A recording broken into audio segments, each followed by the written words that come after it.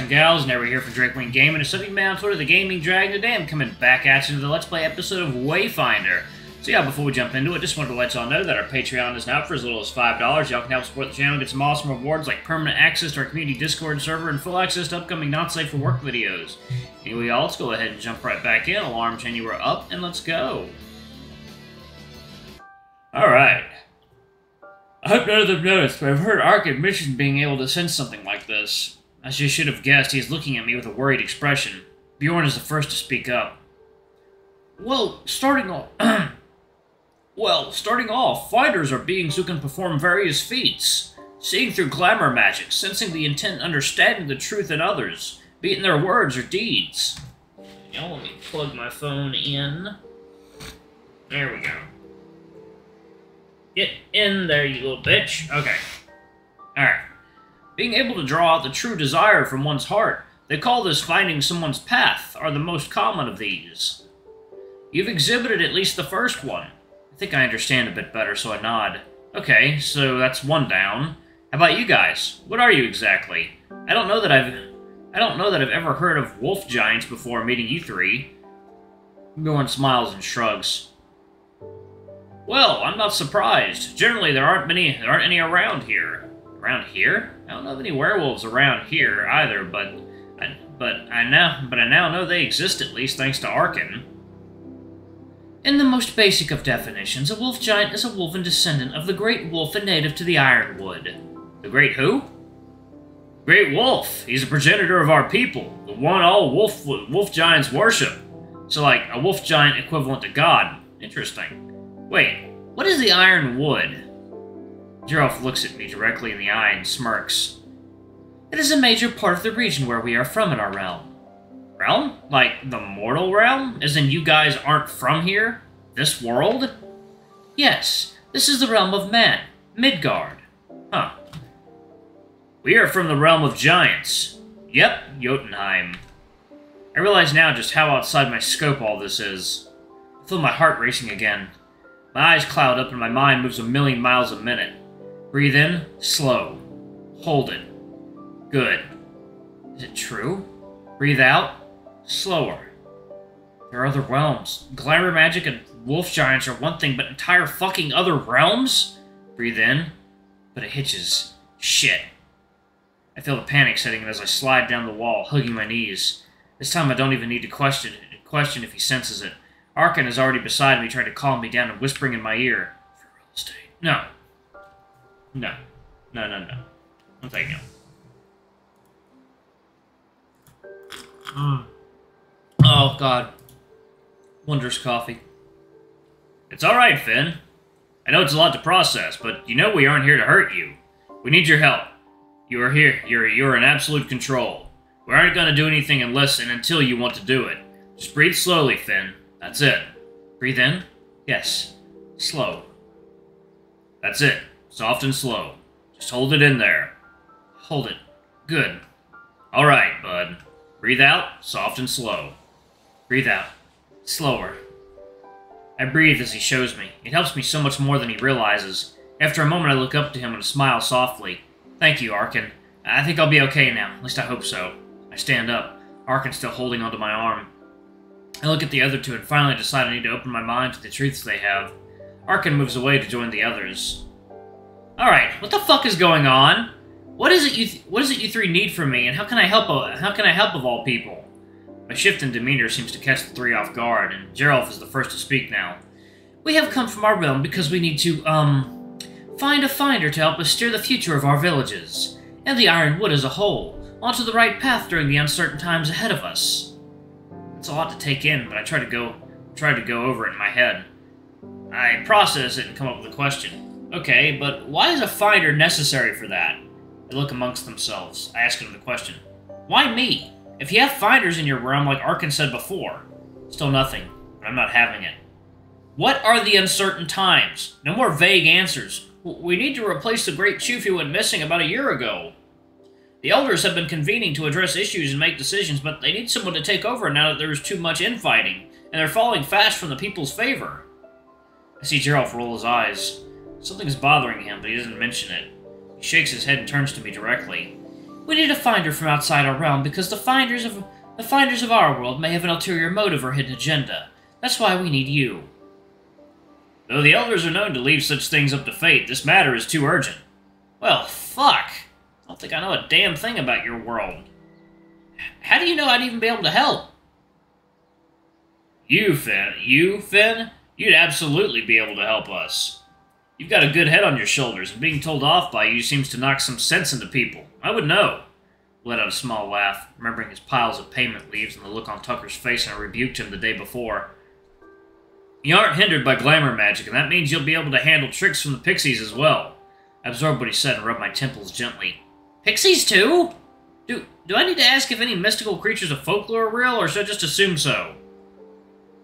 Just assume so. Just assume so. Just assume so. Got it. I shrug and shake my head. I'm really in the thick of it now. Coffee time.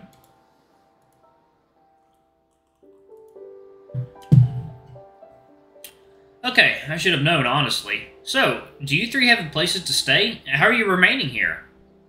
We've used magic to find our own lodgings. I know you're not exactly in favor of such methods, but rest assured, it was only as it was our only option.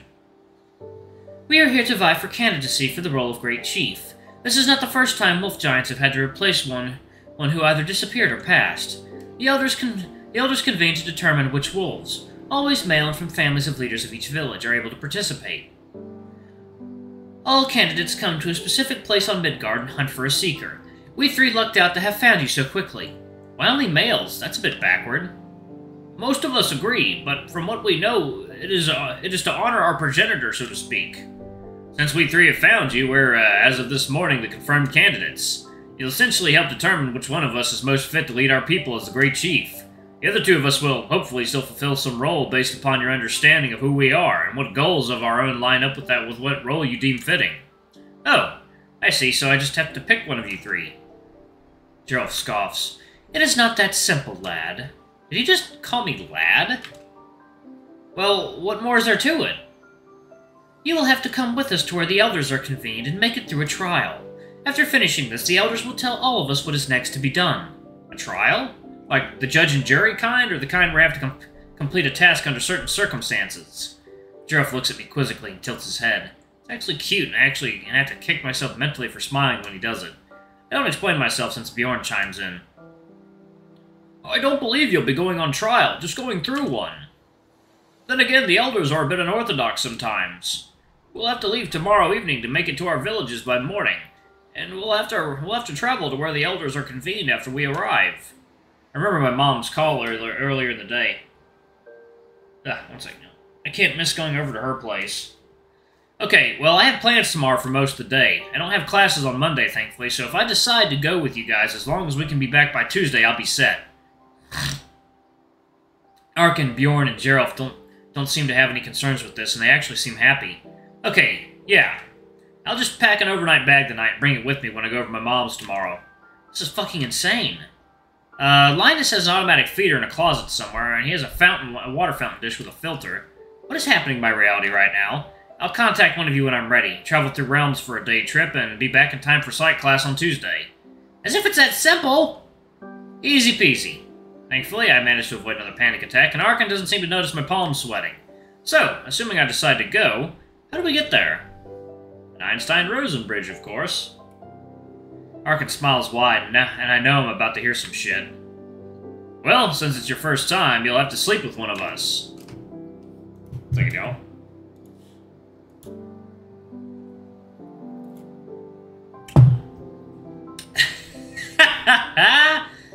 Bjorn and Geralt smack their foreheads in unison. I feel the blush coming on. Am I being propositioned by three wolf giants? God damn, Arkin, you could at least ask me to dinner first. He means literally. We travel through magics in our sleep. Bjorn chuckles, and I look to see him rubbing his forearm anxiously with his other hand. The number of times I've seen a wolf giant blush can now likely be counted on more than two hands. You should, um... Oh, okay. Whoa, hey now. You should, um, get more time with whoever you decide to go with. I mean, you know, to form a stronger bond. That way you won't get, um, lost. Excuse me? Did he just say Lost? Oh yeah, I forgot about that. It's not likely to happen at all, as the three of us are very proficient in magic, but when traveling through realms, one can get lost in a dream in a dream in a dream realm. Unless that person is strong enough with magic to leave on their own, the only other way out is being pulled. Otherwise, one could be lost there for eternity. Nope. Fuck nope. These wolf giants are gonna get me erased from existence. I'm not so sure this is a good idea anymore. I feel my stomach drop and I again drop down to hold my knees. This time Arkin stays where he is. But it's only a second or so before he before the feeling passes, I stumble back up to a standing position. Ah, we travel through the divide between realms in our sleep, then. There is a negligible there is negligible room for error, save for weak magic users and those who, unlike us, have not done this before. I do hope that makes you feel better. I tilt my head, showing indifference. However, know that after you decide which of us you'd prefer to travel with, if you still feel uncertain about moving between our worlds, you can have that person hold on to you as you sleep. That way, there is absolutely no chance you will end up anywhere alone. I look at him with confusion plain on my face. Jolf explains a bit more. We take whatever it is with us when we go. Our intent is enough to carry another person, but physically holding a person is a guarantee. What he says is reassuring, but I still feel a bit, still feel a bit scared. However, I realize something important and speak up. Well, I probably won't be able to make any time to hang out tomorrow before we're set to go, so since I, you know, have a seriously important thing to do tomorrow, I can hang out with one of you later later on tonight, though I'd rather we all hang together if possible. I still don't know who I'd rather go with, if I'm even going. Plus, I might need to spend more time with all of you, or all three of you. Anyway, so I can gauge what you're all about. Geralf looks at Bjorn, and I see Arkin staring off with an expression of either sadness or worry. Honestly, that is probably not for the best. It may be just a bit awkward like it is now. Better for you to just pick one of us. Is it awkward? I hadn't noticed. I wonder what's going on here that I can't see. All three of them look fine for the most part. They all got nervous when Arkin mentioned sleeping with one of them, though. Maybe I can try to use my finder power to find what they're feeling. I couldn't. It feels like I'd be manipulating them. I wonder if there'll be hard feelings between the two I don't pick and one I do. There you go. Coffee time.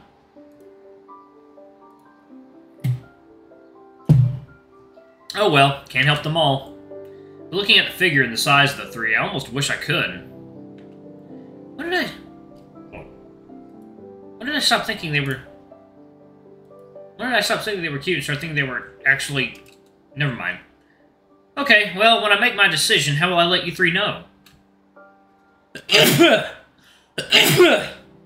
oh, that's me. Do you guys have cell phones? Oh, we usually just use our howl, but we can use magic to communicate as well. Oh, really? What can these? What can't these guys do? I never thought wolf giants were real, but if I, but if I had, I definitely would not have pegged them as being good at magic of all things. I wonder if they can teach me any. Well, can I use magic? Can you guys teach me? They look. They look at. They look at one another nervously, with Arkin walking up to me and patting me on the shoulder. Before he can shoot me down, Geralt chimes in. Have strange things happened to you lately, aside from meeting three wolf giants? The three of them chuckle. Um, there are a few things, aside from just using my finder power to uh, find a book on a shelf and making it fall, which I really need to read in return. I also managed to find your voices in the howl last night just by thinking of you guys. Well, those don't necessarily seem unnatural for a finder, although I never saw what caused that bookshelf to fall behind you. To fall, mind you. It could have been you developing more powers somehow. Like telekinesis? Am I turning into a superhero? Anything but that. Hmm? Did you say something? Uh, oh, no. Alright, y'all. I'm gonna go ahead and pause it right there. Thank y'all so much for watching. Don't forget to like, comment, subscribe, ring that notification bell, and check out our Patreon if you can. It always helps. Before I go, I'm going to give a quick shout out to our, to our lovely bronze tier patrons. Thank you all for all you do for the channel. We greatly appreciate your support. Thank you to our silver tier patron, Cade Silvermoon. Thank you for going a bit above and beyond. It's greatly appreciated. And thank you to our gold tier patron, Amr. You're awesome. We love you. Thank you for subbing to our channel. Anyway, if y'all want to get your names in the names in the credits, get access to our not safe for work content as little as $5. Alrighty, I love you all, and I'll see you all in the next video. Bye-bye!